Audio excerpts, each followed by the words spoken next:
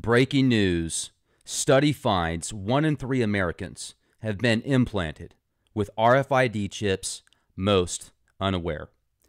Now, this is a Wyoming Institute of Technology report, and they have determined a shocking one in three U.S. citizens have been implanted with RFID tracking devices. Literally, RFID microchips. Now, the article recently published details a study of almost 3,000 people. And almost a thousand of them were implanted with an RFID chip. Most of them didn't even know they had the chip inside of their body.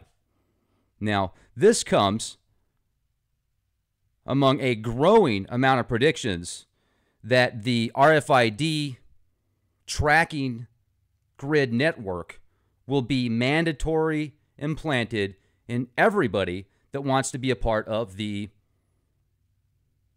system of you know, fiat currency, essentially, I guess you could say. Anybody that wants to, to barter, I mean, you can even read in the Bible, it talks about the mark of the beast. I was warned about it 25 years ago. And John Bruegel, PhD, offered the following. Now, we were motivated to perform this study by all of the public interest in RFID implantation implantation and fears that it would be commonplace. It turns out, in fact, it's already commonplace. We found a shockingly high number of Americans are carrying these RFID implants in their body. The overwhelming majority of these individuals were completely unaware that they had been implanted. I hope that this study causes us to take pause as a society and truly consider the ramifications and implications of human RFID implantation. Why do I keep saying that word wrong? Implantation. Now, the analysis of radio frequency identification chip. Here's the abstract. Population Midwest. They contain 958 individuals from Illinois, Iowa, and Wisconsin. Population Northeast. They had 987 people from Maine, Rhode Island, New, Jersey. The Southwest. They had a little. They had 1,010 people from Arizona, Nevada. Volunteers were recruited using standard methods and compensated in a manner consistent with industry standards. All test subjects were treated in compliance with institutional codes of ethics and standards. Now, the individuals were subjected to full body RFID chips scanning using previously detailed protocols. The test subjects were scanned either in the nude or in minimal undergarments to avoid interfe interference. Demographic and personal history screening test. The subjects provided demographic and personal history, including medical history, through standard forms. All personal and medical information was coded in a double blind manner to protect privacy in compliance with institutional standards. Now, the analysis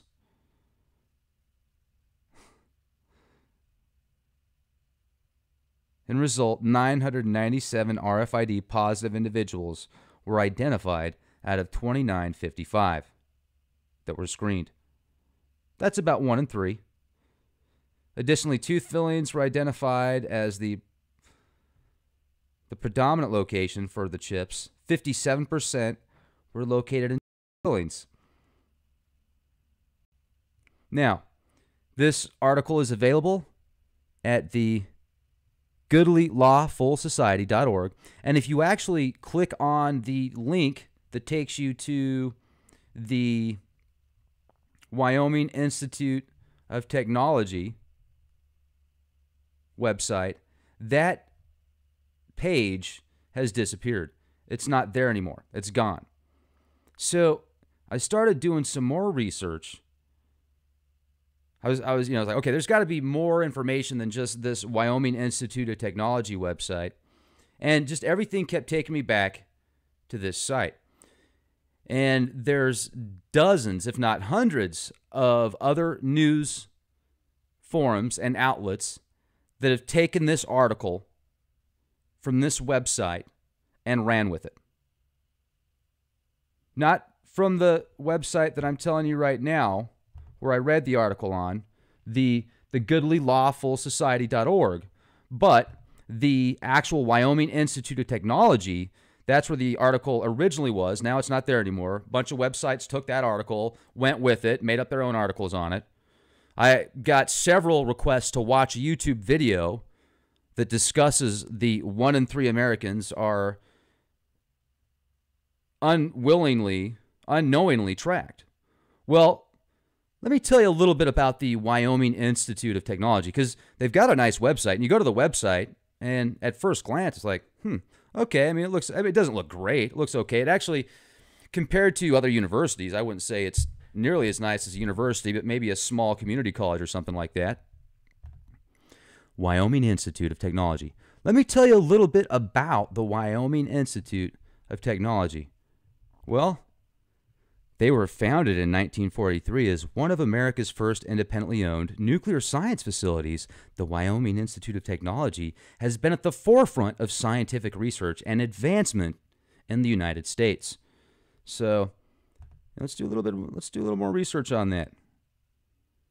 Okay, so they they've been around since 43, independently owned nuclear science facility.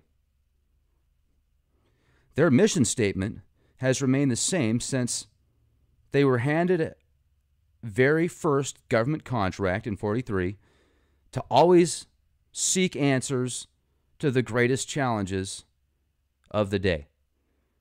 So they employ scientific method and cutting edge research to ensure only the highest quality results at all times. Now, I got kind of bored reading that. I was like, okay, let, let's go to something else. This is this is kind of boring. Let's go into the projects that they're working on. So, currently, this is straight off their website. Currently, many of our projects are classified as we work mostly with private sector companies and defense industry contractors, often using any number of closely guarded trade secrets. However, some of our projects have received enough public funding that we are legally obligated to list those projects here. You're like, oh, cool, what is it? Let's hear about this. Well, the first one is Compound MT47B103, or MT Flow, referred to as simply MT Flow. This remarkable chemical substance could revolutionize the way we clean up oil spills, dispose of toxic waste, and even make nuclear coolant water re- reusable and fit for human consumption by FDA and EPA standards. Mount Flow is so safe, in fact, that it was recently government approved for human safety testing in Micronesia and New Guinea. Wow, I mean, that's, geez, that's really human consumption after it kept nuclear fuel rods cool? Sounds pretty remarkable. Research into Mount Flow began after the Gulf oil spill after some liberal environmental watchdogs made the bogus claim that the oil cleanup chemical Corexit, which WIT helped develop in 98, is toxic and harms oil cleanup workers, despite strong evidence to the contrary. WIT was commissioned in October 2012 by BP, Halliburton, and funding from the United States government to develop Mount Flow as an eco friendly, human safe alternative to Corexit. Today, Mount Flow meets all of the requirements for the human environmental safety standards of both BP and Halliburton and is nearly prepared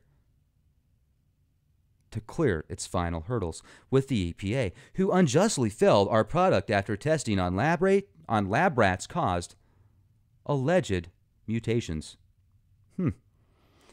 Now, the next compound we're going to hear about here, folks, is called the compound GM02447NU or GM-NU. Most of us look into the mirror and feel upset with our appearance. From time to time, wouldn't it be great if you could take one pill and make your aesthetic physical appearance better in only a matter of a few days? GM-NU will make that dream into a reality in the near future working closely with pharmaceutical giant GlaxoSmithKline, cosmetic leader Lancome, and GMO innovators at Monsanto, WIT has developed a revolutionary pill which will if taken daily, can actually change your body in the genetic level, letting you naturally shed weight, grow muscle mass, regrow lost hair, even lose unsightly pimples and warts. GM New You will make patients look and feel better than they've ever felt before. This product probably sounds too good to be true, but just trust us, it's coming your way soon. Using GMO, genetically modified organism science, WIT was able to show staggeringly impressive and consistent results with some of our volunteer human test subjects, most of whom are Hollywood celebs, including Michael Jackson, Gary Busey, Tara Reid, and Charlie Sheen. Michael Jackson's clone, ladies and gentlemen. The e condom, this is another technology they're working on, the e condom when WIT started to tackle the reinvention of the condom in 2012, we were recognized that there were three key facts reflecting in the initial polling data. Most men hate wearing condoms. Men primarily wear condoms to avoid unwanted impregnations, and men would gladly reuse condoms if they felt it was safe to avoid both the added cost and the embarrassment of going to convenience stores and asking for them. Speak for yourself. It was these factors that led to our invention of the e condom. The, these small electronic device clips onto the scrotum with no pain or discomfort and emits pulses of electricity directly into and through your balls, which both disorient and slow the swim speed of your semen, rendering you 100% infertile while wearing the device, which, while allowing you to still enjoy powerful pleasurable ejaculations. Hello! The e condom does not affect the transmission of sexually transmitted diseases, but if you and your partner are both fully tested for STDs, why not wear a condom that fully washable and reusable, has zero impact on filling, and has no risk of breaking or clogging up the toilet? I mean, geez. Can you think of anything better, folks? And while WIT waits for FDA approval, we're still improving on our designs. A Bluetooth emitter could allow you to share your conquests on Facebook or Twitter during and after your sexual activity. While we are also considering a tryptophan emitter, a tritoptan emitter, whatever that is, which can make women drowsy after intercourse, allowing you to roll over and take a nap like you want to. Oh, I know that is a kind of like when you eat turkey, I guess, right? The the byproduct of that essentially. And take a nap like you want to, rather than having to stay up for an hour talking about your feelings or Kath, Katherine Heigl movies or whatever other nonsense your significant other feels like boring you with. Pending charges and or removal to government regulations. Now, there are side effects recorded during human testing that include, but are not limited, limited to, bloating, gasness, diarrhea, violent coughing, cotton mouth, restless leg syndrome, constipation, severe genital itchiness, dizziness, impaired vision, hearing problems, sleep loss, suicidal thoughts, vomit, crazy vomiting, sudden short term memory loss, minor long term memory loss, burning sensations in breasts and or testicles, gout, panic attacks, violent erections, loss of consciousness, bad breath, lower back pain, and even death in some rare cases. Are you starting to feel more concerned about the one in three Americans being microchipped, or do you think that, uh, what do you think of the study now? Now, let's go into the jobs here. Their jobs are, I'm telling you what, do you want to be a test subject? Are you interested in science? And do you want to contribute to the fascinating new medical research that could potentially save the world and lives? WIT has partnered with Monsanto, Pfizer, and Setpoint Medical to deliver an exciting new drug designed to offset the almost non existent side effects of genetically modified organisms used in the agriculture industry, which is rapidly developing remarkable technology advancements like the corn products that actually create pesticides in your gut without even being sprayed with pesticides. It's incredible. Now, you must be a non smoker between the age of 18 and 65, with no history of heart or brain issues or drug or alcohol dependence. Only U.S. and Mexican citizens may apply. Uh, you have to be willing to consume nine pills per day for 30 days, consecutive days, reporting to one of their lab techs in Cheyenne, New York, or Chicago, or LA every seven days for 49 days. During these lab visits, a professional medical researcher, one of theirs, will make vital they'll test your vital signs collect stool and urine samples ask you to walk or run on a treadmill administer iq tests and psychiatric evaluations take blood samples both while you're eating genetically modified foods. Now at the researcher's discretion they may ask you to sexually stimulate yourself on camera during those visits. Now all subjects will be asked to sign waivers non-disclosure agreements and other documents that are vital. The compensation, these subjects are going to be paid 50 bucks per laboratory visit with a bonus of $100 uh, upon completion of your final lab visit on the 49th day. Now, it doesn't offer any bonuses or other compensation benefits of any kind. Now, there's a custodian third shift available. And you have to have here's the uh, the job includes moving medical waste weighing from 100 to 400 pounds in black bags that can range from 4 to 6.7 feet. Occasionally, they're disposed of in rivers, you know, as a part of their environmental experiments. And candidates could actually think on their feet and improvise should the bags fail to sink properly, according to this article, or actually the website from the WITScience.org department. Yeah, it's it's the Wyoming Institute of Technology, ladies and gentlemen. The Wyoming Institute of Technology, Wyoming Institute of Technology. Wow. I'm telling you, it's a good thing I actually research some of these articles that come onto my desk, I should say, because like I said, there's several people that wanted me to watch this video about how one in three people have been secretly microchipped. And I'll tell you, I wouldn't doubt it. Now I'm going to be I'm going to be serious here for a minute. I wouldn't doubt it if everybody has some type of tracking device embedded in them somehow. I mean, I, have been doing some serious research into edible tracking devices, edible RFID antennas. I've got the pat numbers on it. Matter of fact, I'll share that with you before before we close out here. And I'm also going to get into some stuff that's even more intense than that, essentially. All right, let me just let me just share this with you.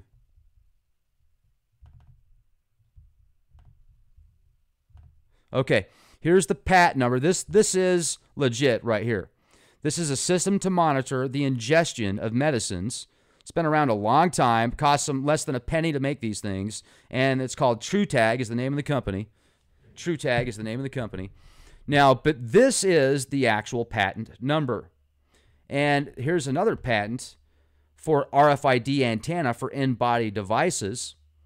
And I want to get into this with you guys pretty deep on the next podcast without the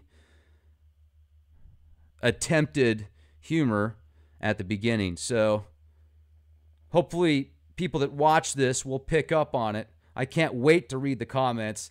Remember, just like the military nanobots in Conspiracyville, the conspiracy continues. LeakProject.com. Be the change you want to see and question everything.